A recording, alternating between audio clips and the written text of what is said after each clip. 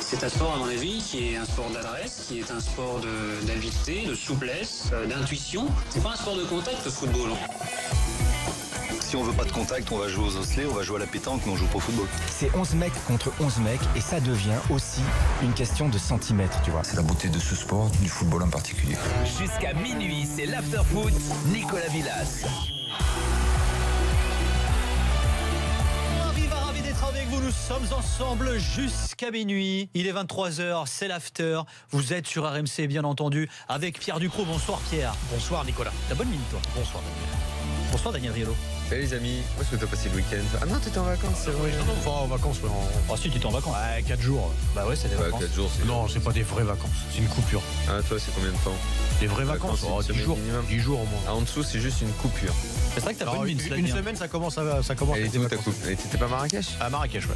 Ah, il se préparait pour le. Comment il s'appelle le. Tournoi de- tu j'ai- pris mes repères. hein. Le je crois que j'ai Sismix, fait- voilà. Je crois que j'ai fait quoi J'ai pris mes repères. J'ai bah, j'ai fait comme l'équipe de France avant la Coupe du Monde. C'est-à-dire, J'ai été visiter l'hôtel où j'allais m'installer pour le, les tournois de poker. T'as visité J'ai, les euh, installations J'ai visité les installations, la salle de massage pour récupérer, euh, etc. C'était bien Ouais, c'était bien. Ouais, bah, le soleil. Quoi.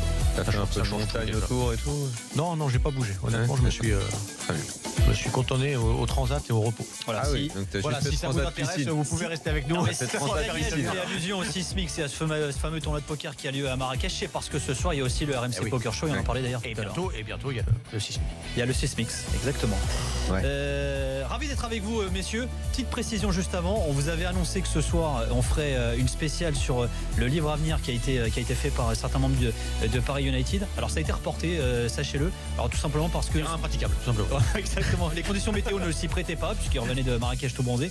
Non, non, rien à voir. Disons que ça avait été décidé un peu tardivement. Gilbert Bribois a communiqué là-dessus sur, sur Twitter tout à l'heure. On va faire les choses bien et de façon organisée. Donc ce n'est que partie remise. Nous, on va revenir. euh, on va s'arrêter. On l'espère jeudi soir, si tout va bien et qu'il n'y a Voilà. pas de contre-indication. euh, euh, si tout le monde aussi reçoit le bouquin, parce qu'on ne l'avait pas tous. Oui, alors Moi, ça, ça a été l'un des j'avais eu- problèmes. Voilà. J'avais eu le Bon, moi, j'irai- privilège. moi, j'irai l'acheter. D'ici jeudi, vais pas, pas un détail. Bon, moi, ce qui m'embête, c'est que jeudi, je serai pas là. Quoi. Bah, J'aurais voilà. bien aimé, parce que ce soir, j'étais Donc là. toi, ça va, t'es pas obligé. Bon, si, si, je vais le lire quand même. Si, si, ça m'intéresse. Moi, j'avais eu le privilège d'avoir des, des extraits, euh, des bons extraits, mais pas encore le, pas encore le bouquin. Donc c'est un peu compliqué quand même de parler. Ouais, ouais, non, vaut mieux, complètement. vaut mieux lire et, et en parler après. Donc voilà, donc euh, tout ça a rendu la chose très compliquée. Et voilà. Alors ça dit, on vous attend au 32-16. Euh, on va revenir sur l'équipe de France. L'équipe de France qui jouera mardi face à, à la Russie. L'équipe de France qui s'est inclinée vendredi, vous le savez, 3-2 au Stade de France face à la Colombie. Quelques petites infos euh, d'ailleurs concernant euh, l'équipe de France. Alors Varane est touché à, à la cheville. Petite info de Tristan euh, Molineri. Raphaël Varane qui était absent de l'entraîneur ce- de l'entraînement euh, ce, ce dimanche soir. Regardez, il était absent de l'entraîneur. Là, tu la note, mon gars. C'est plutôt bon. Il souffre d'une tension à la cheville, euh, sachez-le. Euh, il a travaillé en salle sur euh, un vélo. Il a beaucoup pédalé, voilà. Et du coup, il devrait être en Russie quand même. euh, Tout à fait. voilà, du déplacement. Voilà, ils font le voyage demain. euh, Donc, il sera en Russie présent dans, le- dans dans l'entraîneur. l'entraîneur. Ouais.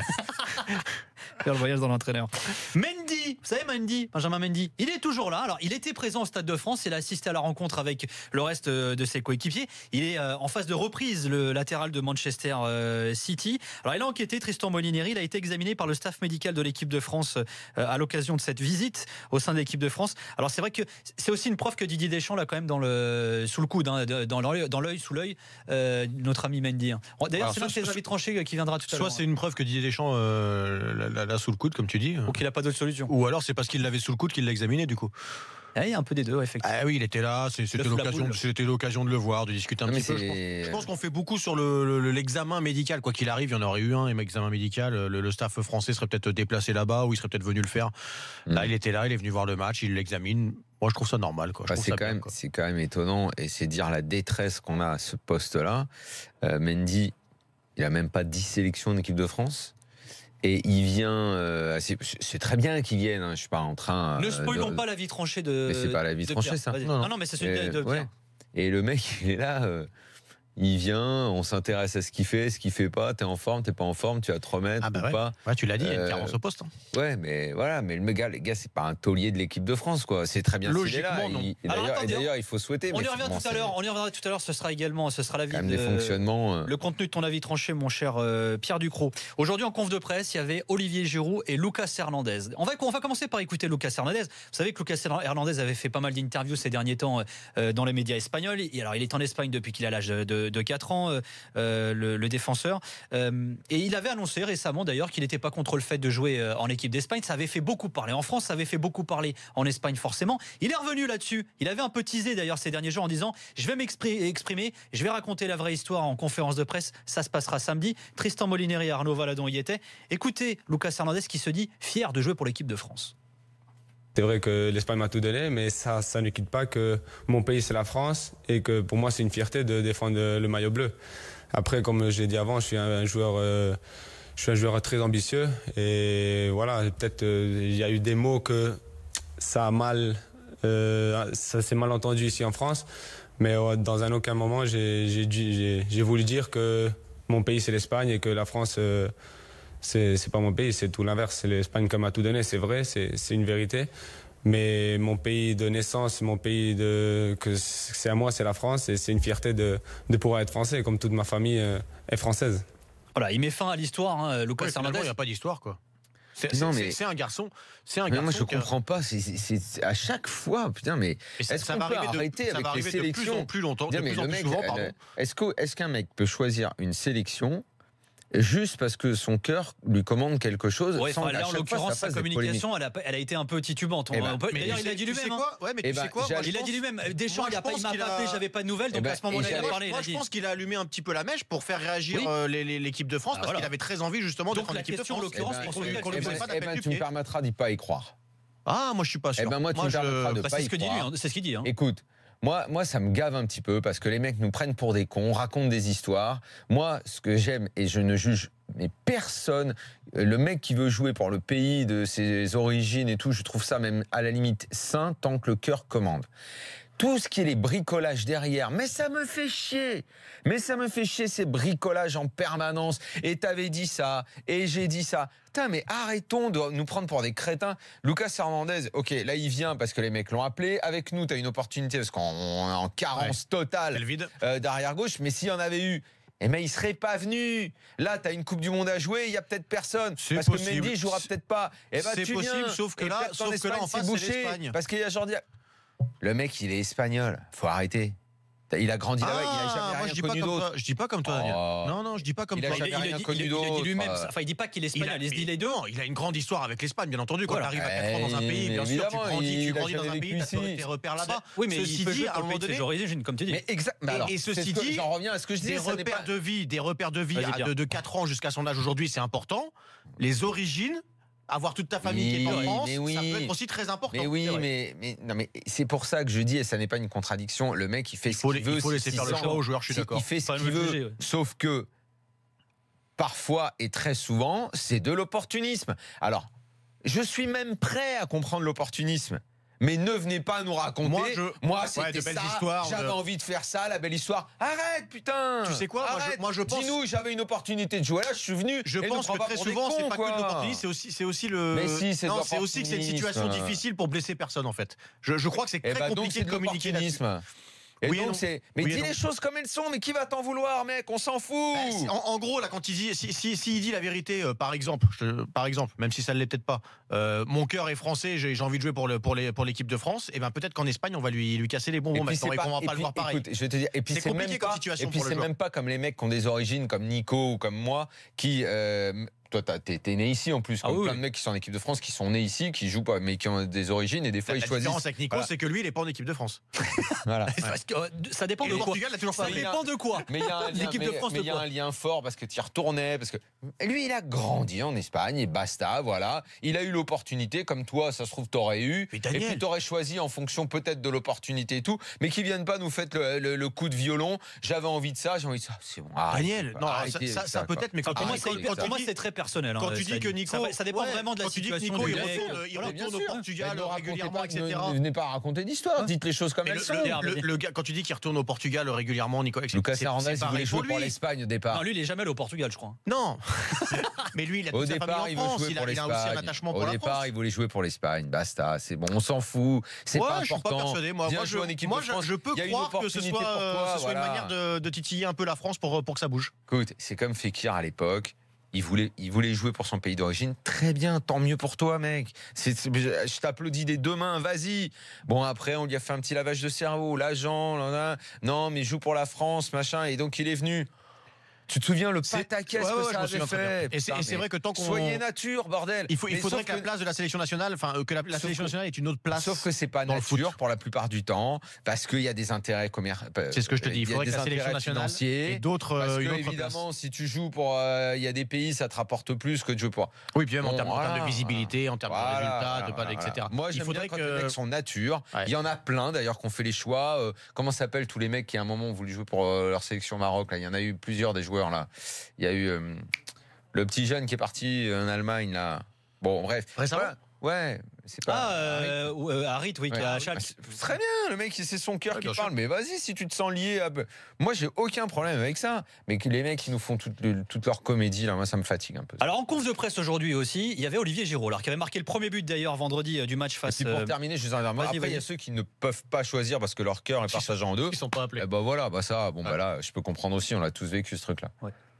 Euh. Olivier Giroud donc, qui était en conférence de presse également aujourd'hui, premier buteur du match face à la Colombie. Il est revenu justement face, euh, sur cette défaite face euh, au Cafeteros. Et pour lui, l'équipe de France avait un joker. On a la chance d'avoir eu un, un joker pour, entre guillemets, euh, faire cette erreur maintenant et pas pendant la Coupe du Monde. Euh, C'était un match amical, faut pas l'oublier, mais euh, il faut surtout pas oublier euh, les enseignements à tirer de, cette deuxième mi-temps qui nous a bah, qui nous a pas permis de gagner ce match et de continuer sur notre bonne série. On s'est euh, simplement relâché. On pensait que le, score était acquis à 2-0. Le, le- le- je, je dirais la victoire était acquise. Donc, encore une fois, il faut, euh, il faut, faudra se souvenir de ce match-là. Euh, si ça, si on est dans la même situation euh, dans un match euh, à la Coupe du Monde, il faudra penser à ça et se dire euh, pas refaire les mêmes erreurs. Il faut apprendre de ces erreurs. Voilà, ça coule de source, c'est logique ce que dit Olivier Giroud, mais cela dit, c'est pas bête. hein. Vaut mieux le perdre maintenant que- que- qu'après. Ouais, mais il y aura des Oui, enseignements à si, tirer de cette si- défaite, si, hein. comme il dit, euh, ça sert de leçon et qu'il s'en rappelle le jour J quand il y aura un match un peu plus facile ou en tout cas un match où ils sont bien pour pas se. Bon, oui, bah oui, oui, Mais effectivement, ça a, coule de faut source. savoir, faut juste que ça euh, serve. ouais. c'est si ce match, effectivement, il y a un problème d'attitude, comme il a été beaucoup dit après, on a été un peu ceci, cela, ou si c'est le signe aussi de certaines limites de l'équipe de France. Parce que c'est bien beau de dire on n'a pas, on n'a pas su, on n'a pas fait, on n'a pas. Ouais, mais est-ce que tu as pu Ah, moi, je pense, moi, je pense que c'est grandement un problème d'état d'esprit quand même. Quand tu vois les efforts faits défensivement en Je seconde période par. euh, et, et je parle pas forcément des défenseurs. Ah, Pierre, moi je sais pas. Moi je trouve Je que c'est un que peu simpliste comme explication parce que euh, en face tu as une équipe qui a, qui a haussé le Ah, ton, qui a ouais. fait un petit changement tactique avec des bons joueurs de ballon. Ils t'ont mis à l'amende. Je trouve que c'est un peu simple de dire ouais mais c'est nous, c'est nous qui avons été suffisants, nonchalants. C'est un peu réduire la performance des autres. Moi je trouve que les autres ont fait un bon match. On va voir mardi ce qui va se passer parce que les Russes aussi euh, veulent se racheter euh, de leur défaite Alors, contre le Brésil. Et pas seulement de celle-là, hein. une victoire Moi- sur les sept derniers matchs hein, pour les Russes. Là- Moi, j'ai vu, j'ai vu une grande partie du match contre le Brésil. Euh, je- bon, j'allais dire le score est lourd. Non, mais à un moment de la rencontre, avant que ça commence à défiler un peu pour les Brésiliens, les Russes ont deux trois euh, belles opportunités qui peuvent donner une autre tournure. Alors après, c'est pas une grosse équipe, hein, attention, hein, mais euh, il faut un Brésil qui commence à régaler quoi pour les pour, euh, pour les battre. hein. Donc, je trouve. À un moment, je me suis même dit, putain, il a- c'est un peu lourd. euh, C'est vrai que ça va être en Russie, pour- pour revenir euh, sur le- ouais. pays organisateur, ça va être, euh, enfin, il va y avoir de pense qu'ils vont l'ambiance. vouloir se racheter, Ouais, ça ouais, va sûrement. peut-être même meilleur Sûrement. contre les Brésiliens. Ouais. Pour revenir sur l'équipe de France contre la, contre la Colombie, euh, je peux te rejoindre, Daniel, quand tu dis que c'est pas exclusivement parce que l'état d'esprit des Bleus n'y était plus que le- les Colombiens ont réussi à revenir dans ce match, parce que comme le Pérou d'ailleurs, où il faudra se méfier parce qu'il y a énormément de qualité dans l'équipe du, du Pérou et, et les voilà ce, ce Ah, genre de qualité aussi. la- il paraît que l'Amérique du Sud c'est bidon, la zone âme Non, sud c'est non. du sucre Non, pour non, c'est loin- qualifier. c'est loin d'être bidon. j'entends ça moi. C'est loin d'être bidon. j'entends ouais la zone âme sud c'est euh, crème. C'est loin d'être bidon, c'est loin d'être bidon. Ce sont peut-être. Je te dis pas que le Pérou va aller en demi-finale de Coupe du Monde. Je te dis que dans une poule où tu es avec le Pérou, il faut s'en méfier et faire le bon Les match pour, euh, pour gagner. sont mauvais, ça joue au ballon. Exactement. et puis tu as toujours cette, cette partie de, Grinta où c'est pas des mecs qui lâchent, facilement. Et surtout quand ils jouent pour, euh, pour l'équipe nationale, eux, euh, bien ils, sûr. ils Il rigolent a, pas. il y a une autre valeur. Et donc pour en revenir à ça, je, je te rejoins là-dessus. C'est pas le Je, Honduras. je hein. pense que c'est une, une, accu- enfin, une accumulation ou en tout cas une addition de, de- de choses. C'est que les Colombiens effectivement sont pas sont pas des sont pas des manches, mais qu'à un moment donné le match tu l'as en main et que c'est toi aussi qui leur permet de revenir dans le match un petit peu quand même. Messieurs, on va Un petit basculer dans les avis tranchés. Euh, voilà, hier on en a fait euh, également. On va commencer par ton avis tranché ce soir, Daniel. Ah bon? Daniel, euh, il le dit, bon, il a répété un peu mes propos, hein, parce que ça, je l'ai dit il y a très longtemps. Daniel souvent s'inspire Mais- des plus grands. Bah là, oui, c'est le cas.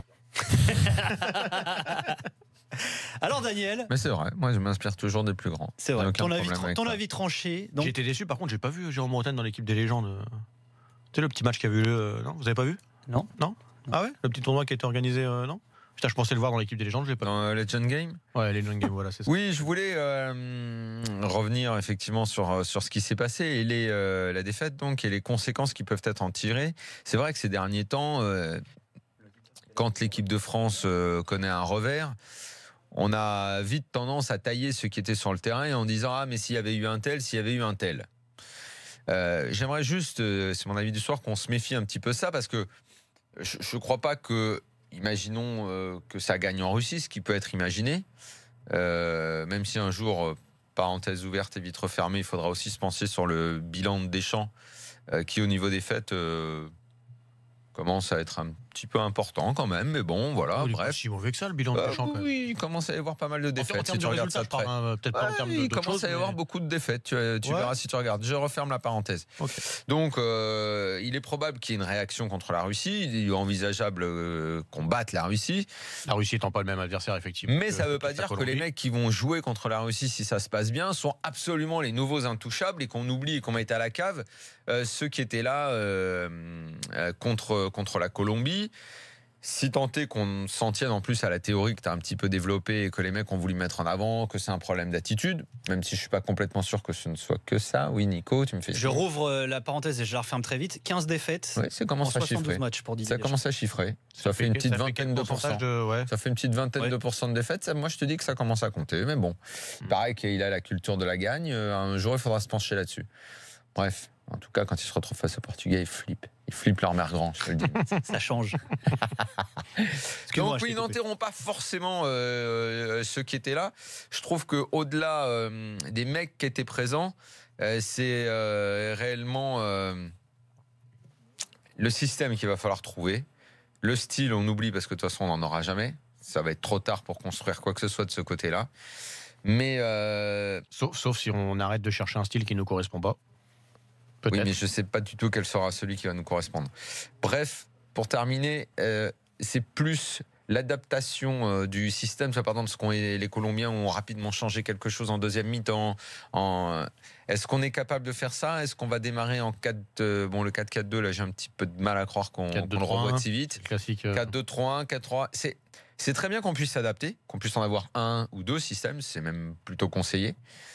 Euh, mais il faut pas qu'on en ait euh, la moitié de chacun d'eux. Quoi. faut pas qu'on ait euh, un, t'en un maîtrises aucun 4-4-2 finalement. Ouais. bancal, un 4-3-3 bancal, un 4-2-3-1 bancal.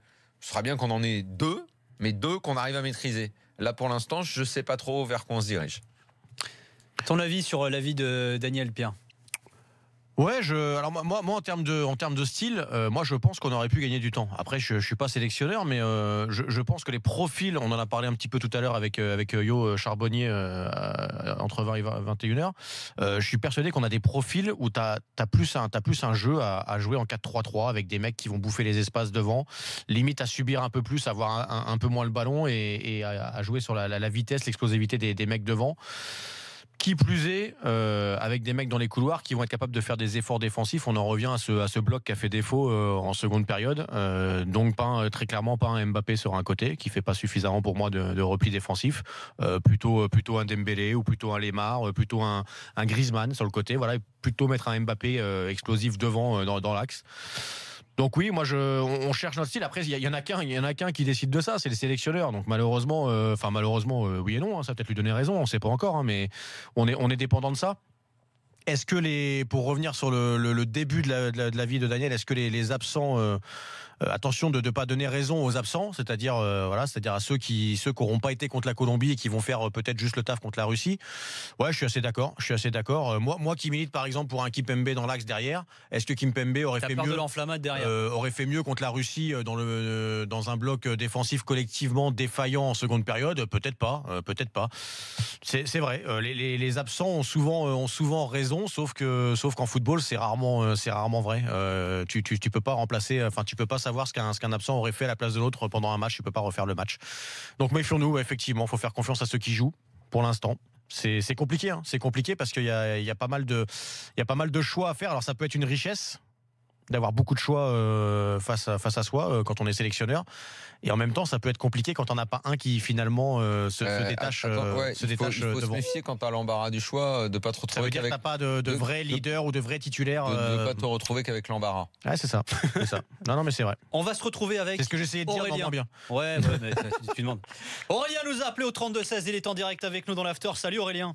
Bonsoir tout le monde. Bonsoir. Ça va Aurélien? Ça va très très bien. Alors, Aurélien, ah, est-ce que les absents, il faut pas, il faut se méfier donc du, les absents ont toujours raison, comme Est-ce le que dit Daniel. profité de cette journée de soleil aujourd'hui? Oui, Alors déjà. moi j'ai Mets un profité peu de l'humain de du coup, là, dans Dijon. les questions, là, dans les euh, rapports. Mais de ouais. l'humain, C'est quoi. vrai que je suis un mec tellement froid, moi. Alors moi j'ai profité de ces journées de soleil parce qu'enfin on a du soleil. Et ça, Ah ça fait quand même longtemps. Qu'est-ce que t'as fait de beau, là? Fais-nous rêver. T'as fait quoi de ta journée? T'es- de où, Aurélien? T'es de où De Paris? Moi je suis de, Di- de Dijon. ah, Ah, ok, d'accord. voilà. Parce que moi, je vois le soleil à Paris. Tu l'as vu, Daniel, toi? Ah oui, oui, il a Ah fait bah, super C'est beau. super beau aujourd'hui. j'ai fait un Oh. repas de famille. On a Mm. mangé des œufs en marette. Après on a mangé Oh, bah, mal, ça, de- de, magnifique. de la canette confite avec des petites pommes de terre. Oh. Oh Rissolé, à la graisse d'oie, j'espère. Attends, attends, continue. C'était Ah presque ah, un petit peu lourd pour le Des climat. pommes de terre rissolées avec la graisse de la canette qu'avec Ah oui, la canette, Ah oui, Oh bien sûr, c'est pas du, du magret Oui, oui, bien sûr. C'était un peu lourd quand même, non. Après, Vas-y. t'as fait la sieste. Bah, et du coup, euh, deux, un petit bout, deux trois bouteilles de la région, une petite balade dans la forêt à côté, très bien. Oh Belle Et je vais vous journée, dire mon un vieux. truc, enfin qu'on. Mais Qu'est-ce enfin que tu viens de faire chier à l'after, là Je comprends pas. Alors, Bah, C'est le soir, le soir, alors, ça je vais va. vous dire pourquoi je vais me faire chier à l'after, parce que je passe de temps en temps pour parler du PSG. Ouais. Et à chaque fois que je lance un sujet, Daniel me coupe et parle pendant 10 minutes, un quart Ah bah, d'heure. on a- tous le- on a tous le même problème, euh. pour tout le monde. Écoute, moi je passe des fois dans les grandes gueules, et dans les grandes gueules, j'ai le droit de réponse. Daniel, il part tellement dans ces trucs que j'ai pas le droit de réponse, et le pire, c'est que je suis souvent d'accord avec lui. Bon, je me Eh tais, je ben, tu sais quoi, on va te couper. On te retrouve demain matin dans les grandes gueules, donc à partir de 10h. Salut Ah, Aurélien, vas-y, bonne soirée. Aurélien, on Vas-y Aurélien. Honnêtement, moi je suis supporter du Paris Saint-Germain et je viens fréquemment dans l'after pour le PSG. Là, je suis très content de réagir sur l'équipe de France, sur l'équipe de mon pays, et je suis très content. Je pense que avant que les absents ont toujours tort, il y a un vrai problème à l'heure actuelle. Ils ont même toujours raison en l'occurrence là, c'est ce que dit Daniel. Toujours tort Enfin, toujours que- non, c'est ce que justement je ne Ouais, savais ouais. pas dire. Oui, bah Lionel Nettisi ne joue plus, mais il est, il, il est absent et il a toujours tort aussi. Hein. Bon. C'est vrai. Non, franchement, j'ai un problème. J'ai bientôt 38 ans, donc je suis pas un vieux, vieux, vieux qui a connu la grande époque euh, de, des équipes comme euh, Saint-Étienne et compagnie. Mais t'as pas de j'ai un, meuf. problème- Bon, ok. j'ai un problème avec le football moderne. Ah, c'est quoi? Ah. Mon problème avec le football moderne, moi qui suis supporter du Paris Saint-Germain, c'est que on aime les mecs qui dribblent, les mecs euh, qui font du champagne, les mecs qui valent 100 millions, 180, 200 millions, et on, se met à genoux devant lui, devant eux. Ce- ce week-end, vendredi, un mec comme Mbappé, qui est jeune, qui est très fort et que le Paris Saint-Germain a acheté 180 millions. Il a fait un petit peu son match, mais encore une fois, certaines fois, il n'a pas pris les bonnes décisions dans le jeu collectif. Et je pense à l'heure actuelle que dans les gros clubs européens et encore dans les gros clubs de nations, les mecs, au lieu de venir jouer pour leur maillot, pour leur pays, ils viennent jouer pour faire les stars. Et devant le but, ils sont pas capables de faire la passe, ou au milieu du terrain, ils sont pas capables de faire, le jeu.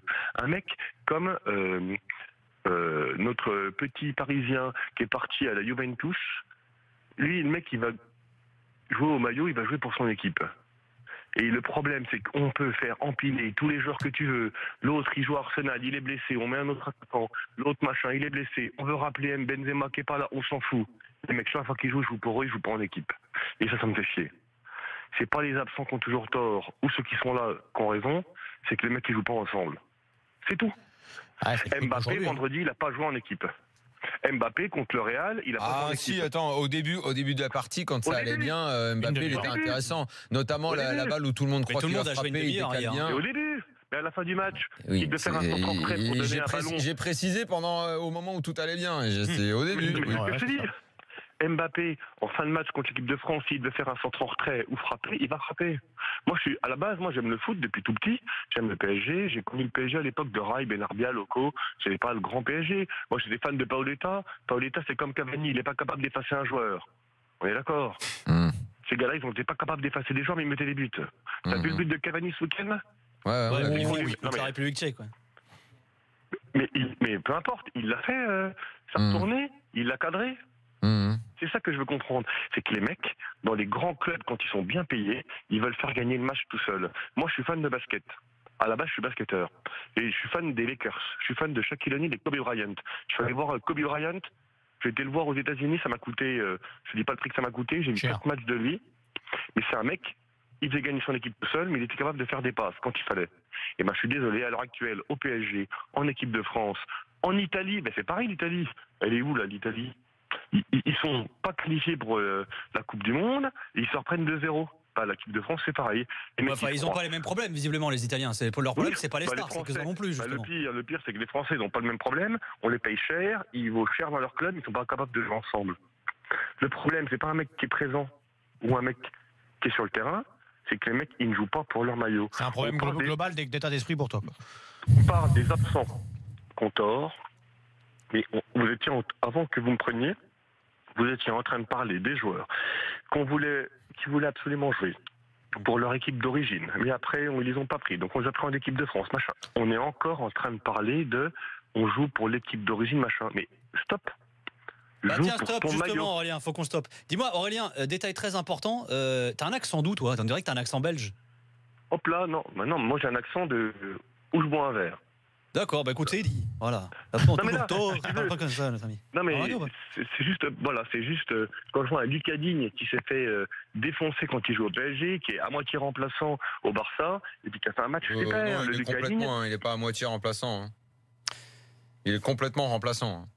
Oui, et ben il a fait un. Honnêtement, c'est après j'ai peut-être, on n'a peut-être pas vu le même match, mais moi j'ai trouvé que Lucas Digne sur le terrain il s'est défoncé. Il a mis ses couilles sur le terrain puis il a joué. Oui, je suis d'accord avec toi. C'est vrai que ça n'a pas été le. Eh ben, le message mais en est passé, temps, euh, bon. Aurélien. Le message est passé. Bah, merci suffisant Aurélien de nous avoir appelé. Tu passeras le bisou, euh, euh, tu passeras le coucou, tu feras un bisou au GG de notre part, hein, bien entendu. Ah. Bah, on ouais. parle d'un problème, euh, Aurélien parle d'un problème plus, plus, plus global, effectivement, mais qui est, qui est- qui est général et qui n'est pas propre aux Français. C'est le football d'aujourd'hui, effectivement, où tu as l'individualisation des, des- des mecs sur le terrain. Voilà, c'est comme ça. Et malheureusement, c'est comme ça.